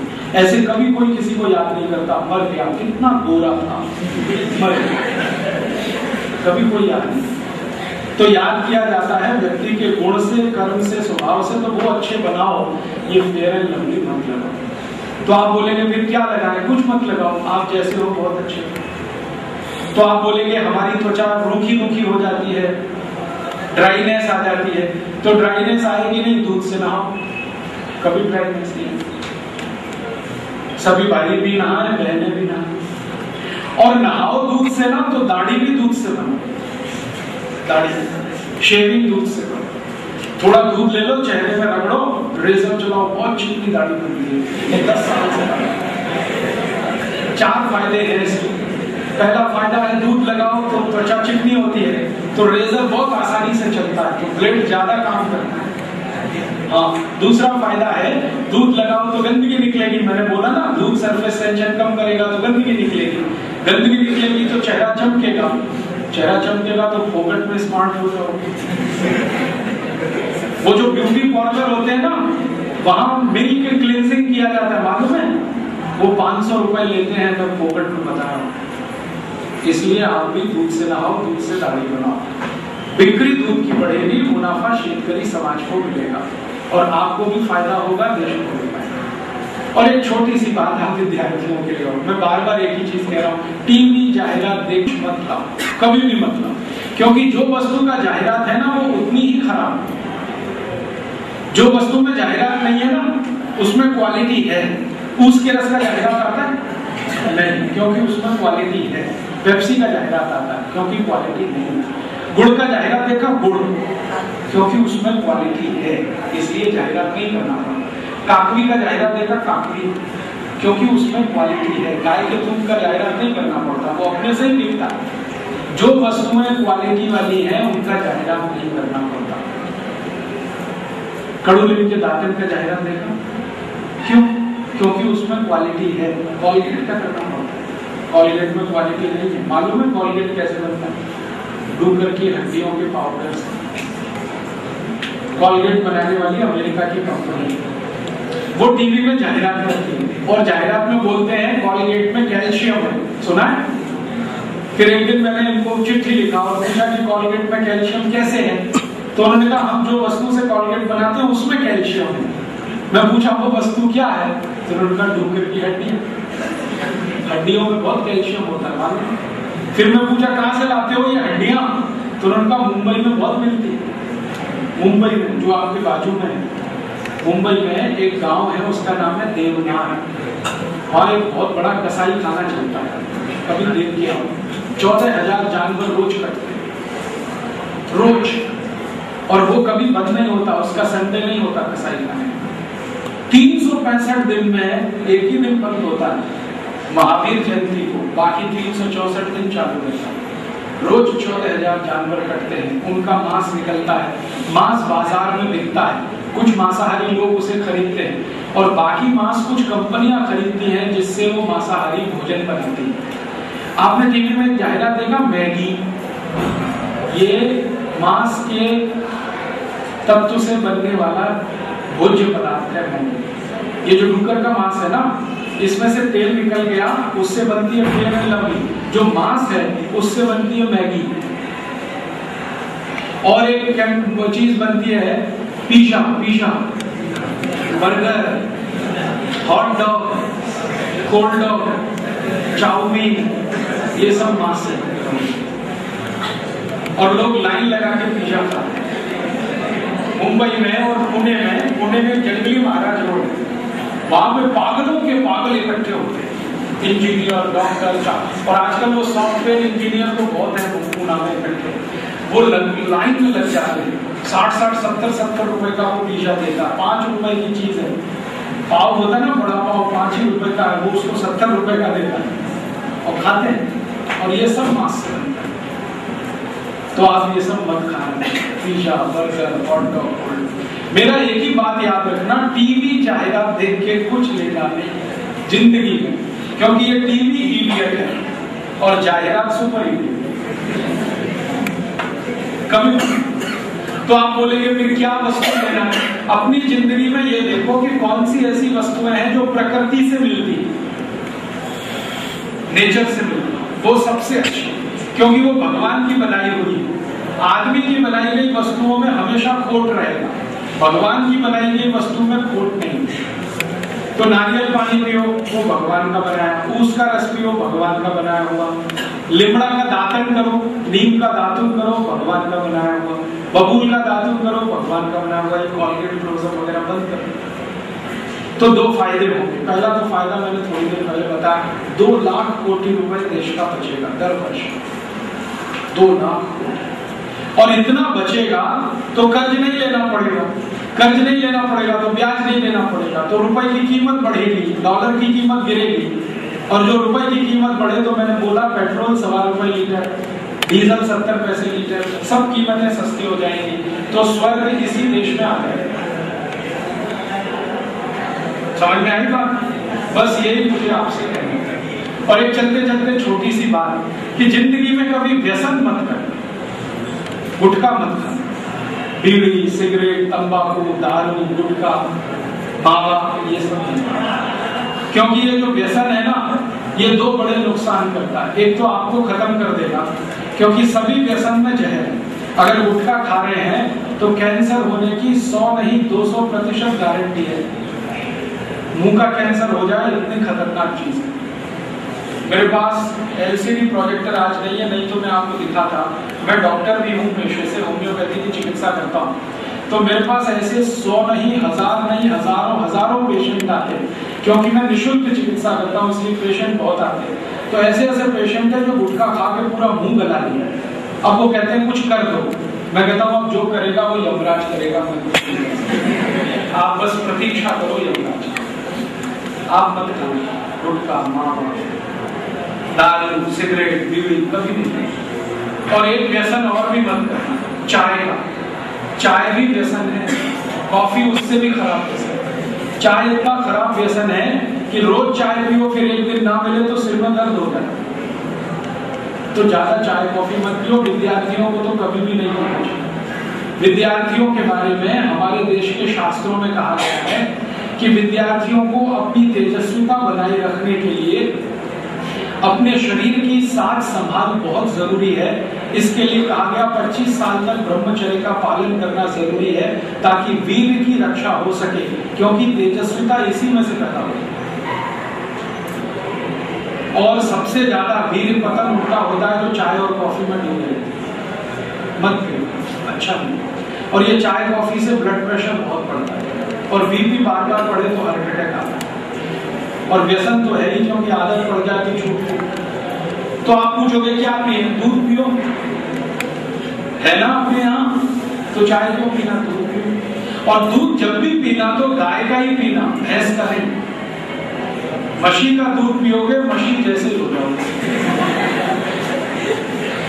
आपने देखी है ना, भैंस मशी? खड़ी हो जाए सड़क पे, सामने से ट्रक आए, इधर से बस आए, इधर से ट्रक आए, कितना भी हॉर्न बजाए, हटेगी नहीं वही क्यों? अकल ही नहीं है और मशीन का बच्चा होता है ना, जब वो जन्म लेता है ना, ज़मीन पे गिर जाता है खड़ा नहीं हो सकता। दस बारह दिन ऐसे ही पड़ा रहता, बहुत आलस होता है। उठा के रखना पड़ता है और गाय का बच्चा जब पैदा होता है ना तो आधे घंटे में खड़ा हो जाता और अगले आधे घंटे में कूदेगा और एक घंटे बाद रनिंग करेगा। पकड़ नहीं सकते उसको। इतना फुर्ती और चुस्ती है। कहाँ से आया ये? गाय के दूध में से। बशी का दूध पीता, उसका बच्चा देख लो कैसे। एक बार मेरे गाँव में शेतकरी समाज की मैंने एक सभा बुलाई। मेरा गाँव उत्तर प्रदेश में अलीगढ़ जैसे तो मैंने सब शेतकरी भाइयों को कहा कि देखो, मशीन बेचो गाय ले लो तो सब मान गए एक शेतकरी नहीं माना। वो कहने लगा, क्या बात करते आप? मशीन बेचो मैंने कहा, भाई, अच्छी नहीं है। मूर्ख है, महामूर्ख है। तो उसने कहा, सिद्ध करो, ये महामूर्ख है। अब शेतकरी पढ़ा लिखा नहीं था उसको कैसे सिद्ध करूँ? थोड़े दिन में सोचता रहा। फिर मैंने एक एक्सपेरिमेंट किया। मछली का बच्चा होता है और गाय का बच्चा। दोनों के बीच मैंने स्पर्धा करी। ये देखने के लिए कि किसका आईक्यू ज़्यादा है। आईक्यू समझते हैं इंटेलिजेंस क्वेस्ट जिससे पता चलता है बुद्धिशाली कौन तो वो स्पर्धा में मैंने क्या किया? एक दिन गाय के बच्चे को गाँव के बाहर जंगल में छोड़ दिया। मेरे गाँव से तीन किलोमीटर दूर जंगल। और उसकी जो माँ थी, आई, उसको घर में बंद करके ताला लगा दिया। और उसको जंगल में छोड़ दिया। और मैं भाग के आ गया मोटरसाइकिल से। तो एक शेतकरी जो कहता था, वो पूछ लिएगा क्या होगा? मैंने कहा, ये वापस आ जाएगा। कहीं भी इसको छोड़ो, ये यही आएगा।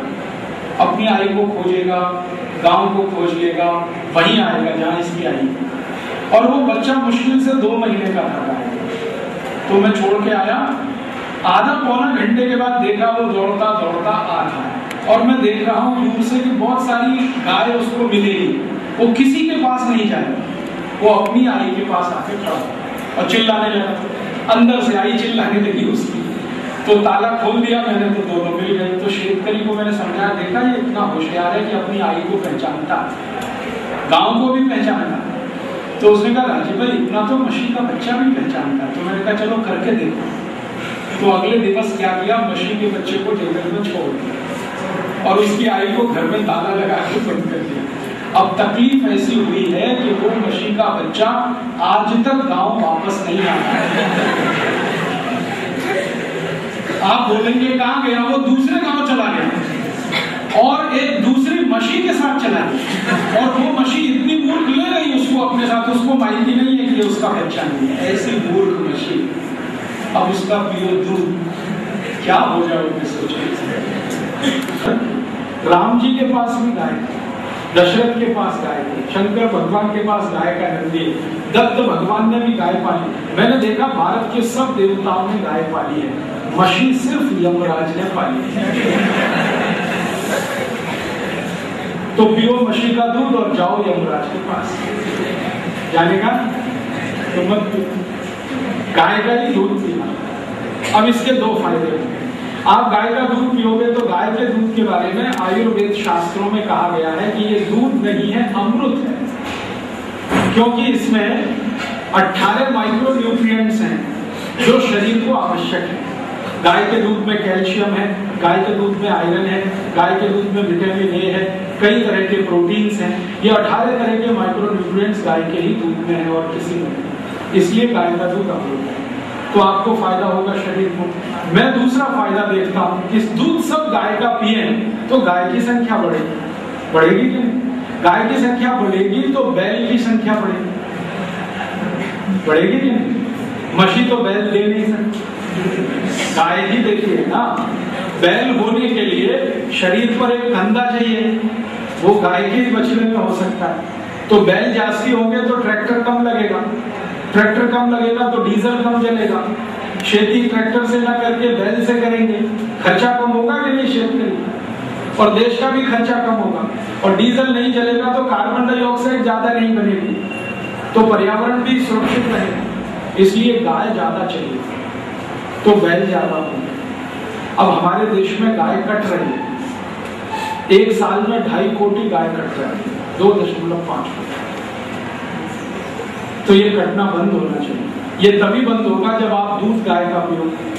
आप गाय को आई कहते हो कि गाय माता है और दूध मशी का पीते हो। दूध तो आई का ही पिया जाता है ना। तो मशी तो आई है सुना कभी? भैंस हमारी माता है। सुना कभी? भैंस माता है। आई तो गाय है। तो दूध भी उसी का पियो। आप दूध पियोगे तो एक फ़ायदा तो होगा, बछड़े ज़्यादा होंगे तो बैल बनेंगे। एक फ़ायदा और होगा। उसका शेड मिलेगा, शेड फोकट में। और उससे बनेगा खत। शेतकरी को खत चाहिए। एक साल में चार लाख कोटी रुपए का यूरिया डीएपी डालते हैं शेतकरी अगर ये चार लाख कोटि बंद हो जाए यूरिया डीएपी का तो खत से मिलेगा शेम खत बनेगा। शेन खत डालने लगे हैं तो उत्पन्न जास्ती होता है। और खर्चा कम ही आता है। और पानी का उपयोग भी कम होता है शेम खत का और मिट्टी की जो सुपीकता है ना, माटी की, वो हर साल बढ़ती है अगर शेम खत वापरो तो। इतने फ़ायदे हैं। इसलिए गाय ठीक है? डेयरी का मत पीना ये डेयरी वाले सब मिला के देते हैं डेढ़ से उसमें गाय का भी हो सकता है मशी का भी हो सकता है, गधी का भी हो सकता है घोड़ी का सब मिला देंगे। आपको पता ही नहीं चलेगा, क्योंकि आपके पास तो कोई मशीन है नहीं। तो ऐसे लोगों से दूध खरीदो जो गाय पालते हैं। उनकी संख्या है तो गोपालक जास्ती होंगे। और भगवान कृष्ण खुद गोपालक थे तो हमको गोपालक कोई शर्म नहीं होनी समझ में आ रहा है? अब एक आखिरी बात और कह दू, या बंद? बस।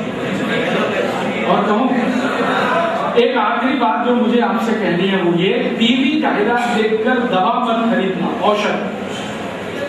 जैसे टीवी में औषध का जाहिरात आता है ना विक्स विक्स का जाहिरात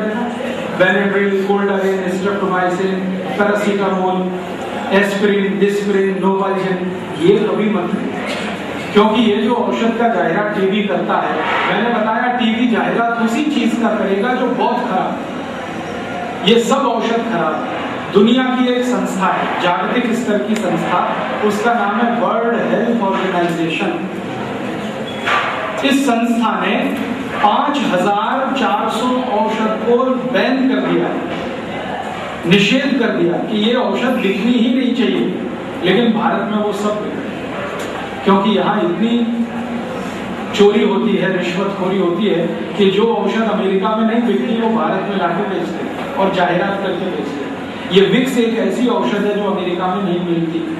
20 साल से बंद है। क्योंकि विक्स उपयोग करो तो दमा होता है, अस्थमा। आप विक्स उपयोग करते हैं सर्दी, जुकाम ठीक करने के इससे हो जाता है दमा। ऐसे एक है दवा एस्पिरिन। आप इसको उपयोग करते हैं सिर दर्द मिटाने के लिए। इससे हो जाता है ब्रेन हेमरेज। एक दवा आप इस्तेमाल करते हैं पैरासीटामोल, बुखार के लिए, ताप के लिए। इससे किडनी खराब हो जाएगी, लीवर डैमेज हो जाएगा। तो ये औषध बनता फिर आप बोलोगे, कौन सी औषध खाना? अपने स्वयं पाक घर में बहुत सारी औषध रखी हुई है। आयुर्वेदिक है टैक्स फ्री है कॉस्ट फ्री है। साइड इफ़ेक्ट नहीं है। एक्सपायरी डेट कुछ भी नहीं है उसकी। वो औषध खाना आप बोलेंगे, क्या औषध है? मैं आपको बताता हूँ। सर्दी जुकाम है ना, उसकी सबसे अच्छी औषध अपने स्वयं घर में है आल, अदरक, जिंजर। क्या करना? आल का थोड़ा रस निकालो, फिर उसमें तुलसी का रस मिला दो, थोड़ा उसमें मध मिला दो, शहद। बस और गर्म करके पी लो, सुबह शाम दो बार। सर्दी, खांसी, जुकाम तीनों मिला दो ऐसे ही सर्दी, खांसी की एक और औषध है अपने स्वयं पाक में। हड़द हड़द लेके दूध में डालो, गर्म करके पी जाओ तो सर्दी, खांसी, जुकाम एक ही दिन में और एक औषध है जिन लोगों को बार बार सर्दी होती है ना, बार बार सर्दी, हर दिन सर्दी, हर दो दिन में सर्दी, हर दस दिन में सर्दी, उनकी सबसे अच्छी औषध है चूना। चूना देखा, पान में खाते हैं चूना। वो चूना खाओ, छाछ में, ताक में मिला के, दही में मिला के। तो ये बार बार की सर्दी हमेशा के लिए ठीक होती है। बार बार सर्दी उनको होती है जिनके शरीर में कैल्शियम बहुत कम होता है। और चूना कैल्शियम का सबसे बड़ा भंडार है। तो जिनको बार बार नाक बहती है, उनको बोलो चूना खाओ? कैसे खाएँ? दही में मिला के ताक में मिला के पी लो। कितना? एक ग्राम, बस इतना, मामूली से। आठ दस दिन लगातार पिया तो ज़िंदगी भर सर्दी नहीं होगी हाँ कितनी जोरदार चीज़ है। मुफ़्त में आता है, कोई पैसा भी जाता है ऐसे ही अपने घर में और भी बहुत औषध है। बहुत गंभीर बीमारियों की औषध बताता हूँ। आजकल एक बीमारी आई है, उसका नाम है डायबिटीज़। मधुमेह। इसकी सबसे अच्छी औषध अपने रसोई में है स्वयं पाक घर में। उसका नाम है मेथी का दाना। मेथी दाना देखा? पीला पीला होता है। उसको पानी में डालो रात को। रात भर पानी में रखो। सुबह उठकर वो पानी पी के पीछे से दाना खा लो, चलो। तीन महीने कोई सतत खा ले तो उसके बाद डायबिटीज़ जड़ से ठीक है यही मेथी का दाना संधिवात की भी औषध है। घुटने का दर्द, कमर का दर्द, कंधे का दर्द, हड्डियों का दर्द, इसकी औषध है मेथी का दाना सिर का दर्द, इसकी भी औषध है मेथी का दाना आधे सिर का दर्द, जिसको माइग्रेन कहते हैं, उसकी भी यही औषध है मेथी का दाना रक्त के दूषण की जितनी भी बीमारियाँ हैं, जैसे चर्म रोग, ये सब रक्त दूषण की बीमारी इसकी भी औषध यही है हमारी आई को या हमारी ताई को 45 वर्ष जब पूरे होते हैं तो एक खराब समय शुरू होता है, जिसको मेनोपॉज पीरियड कहते हैं। उस समय की सबसे अच्छी औषध है मेथी का दाना। बहुत अच्छी है। आप इसका उपयोग करें। कोई ज़्यादा महँगी नहीं है, खर्चा भी ज़्यादा ऐसे ही अपने स्वयं पाक घर में एक बहुत अच्छी औषध बहुत ही अच्छी उसका नाम है दालचीनी। दालचीनी को पाउडर बना लो, पीस के। फिर मध मिला के शहद मिला के उसको सुबह सुबह खाओ तो इससे सबसे तेज़ी से एक बीमारी ठीक होती है। उस बीमारी का नाम है लट्ठपना मोटापा बढ़ता है ना, ये दालचीनी से ठीक होता है। दालचीनी शरीर को एकदम फिक्स कर देती है। जितना होना चाहिए उतना इसी दालचीनी से एक बीमारी ठीक होती है, दमा। अस्थमा ब्रोंकियल अस्थमा ट्यूबरकुलोसिस ये एक ही दालचीनी बारह पंद्रह रोगों को ठीक करती ऐसे ही अपने स्वयं का घर में एक औषध है काली मिर्च मिरी। गले के इन्फेक्शन के सब रोग इससे ठीक है। अपने स्वयं पाक घर में बहुत अच्छी औषध है अजवाइन। क्या कहते हैं मराठी में अजवाइन? अजवाइन। यस अजवाइन समझते हैं? छोटा छोटा गोल गोल दाना। आवा कहते हैं? ओ, यस, ये तवे पे भून लो, एक शीशी में बाटली में भर के रखो, थोड़ा इसमें काला नमक मिला देना। तो पेट के, पित्त के जितने भी रोग पित्त के रोग समझते acidity hyper acidity ulcer peptic ulcer इन सब की सबसे अच्छी दवा यही है ओवा और इस ओवा में थोड़ा सौंफ मिला के गर्म करके रख लो, तब तो दुनिया में सबसे अच्छी औषध है ये पित्त के रोग। अपने स्वयं का घर में सब औषध है। कोई भी रोग का नाम लो, मैं औषध बताता हूँ। एक भी रोग ऐसा नहीं है जो स्वयं घर से ठीक ना हो। कैंसर जैसा गंभीर रोग, वो भी स्वयं घर में उसकी औषध है। हड़प। हड़प दो आती है। एक तो हड़द होती है, जिसका रंग पीला पीला होता है येलोश और एक हड़द होती है, जिसका रंग केसरी है ना? ये दोनों हड़द को मिक्स करें। इसका रस। शहद के साथ तो गले का कैंसर मिटा देता है। पेट का कैंसर मिटता है इससे। अमेरिका की सरकार ने हड़द को पेटेंट किया है, इसीलिए कि वो कैंसर का ट्रीटमेंट करते हैं। ये अपने घर में सब है। स्वयं पाक घर में। माहिती नहीं है। माहिती क्यों नहीं है? क्योंकि कॉलेज में कोई ये सब माहिती देता देता नहीं है। फालतू माहिती कॉलेज में देते हैं। मैं भी कॉलेज में पढ़ा, आप भी पढ़ो। क्या फालतू पढ़ाते हैं? X Y whole square is equal to X square plus two X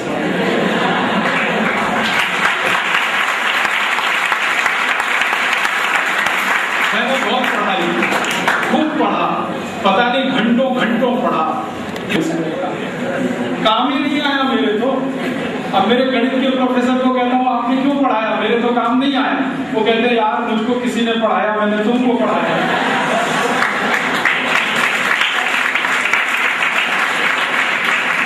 मेरा ये कहना है कि शिक्षण में वो पढ़ाना चाहिए, जो ज़िंदगी में काम आए। अब अगर ओवा के बारे में आपको पढ़ाया जाए तो काम आएगा कि नहीं? आपके भी आएगा, पड़ोसी के भी काम आएगा, ज़िंदगी भर काम आएगा। X plus Y whole square तो सिर्फ़ मार्क्स देने के बाद खत्म हो जाएगा। तो शिक्षण अगर ऐसा किया जाए, जिसमें काम की चीज़ पढ़ाई जाए, बेकार की हटाई जाए तो बहुत अच्छा लाभ होगा आपको भी और देश में। आज हमारा जो शिक्षण है मैं पूरी विनम्रता से और ज़िम्मेदारी से ये स्टेटमेंट कर रहा हूँ कि मैंने एम तक एम टेक तक की शिक्षा ली, जो इंजीनियरिंग की हाईएस्ट डिग्री है एम टेक और वो भी आईआईटी से ली। मैंने जितना पढ़ा, निन्यानवे प्रतिशत ज़िंदगी में कभी काम नहीं तब भी काम नहीं आया जब मैं शास्त्र के रूप में काम करता जो काम आया, वो अलग से मुझे सीखना पड़ा, वो कॉलेज में किसी ने नहीं पढ़ा। मतलब क्या है? सिलेबस बदलने की गरज है। और ये सिलेबस जो आप पढ़ रहे हैं ना 160 साल पुराना है। एक अंग्रेज़ आया था, उसका नाम था मैकॉले उसने ये सिलेबस बना दिया। मैकॉले मर गया, उसके घर वाले सब मर गए। लेकिन वो सिलेबस यहाँ चलते सरकार इसको ध्यान देती नहीं। आप सब ध्यान दें तो अच्छा है। मेरा ये कहना है कि ज़िंदगी में जो फंक्शनल नॉलेज है ऑपरेशनल नॉलेज है, उसको ज़्यादा ग्रहण करो। आपके भी काम का है, दूसरों के काम का तो ये छोटी छोटी कुछ बातें मैंने आपसे करी अच्छी लगी? दूसरों को बोलेंगे? अच्छा अगर आप बोलेंगे तो इसका लाभ सबको मिलेगा। और नहीं बोलेंगे तो इसका पाप आपके सिर पे लगेगा। भारत में पता क्या कहते हैं? ज्ञान को जितना बांटो उतना ही बढ़ता है और वो मल्टीप्लाई करता है। अपने तक सीमित रखोगे तो पाप के हिस्सेदार तो मैं नहीं चाहता आप पापी बने, मैं चाहता हूँ पुण्यात्मा बने। ये ज्ञान जो मैंने दिया, ये दूसरों को दें, वो दूसरे किसी दूसरे को दें। धीरे धीरे ये गाँव गाँव फैल जाए और ये देश को सुजलाम सुफलाम बनाने में हम सब कामयाब हो जाए।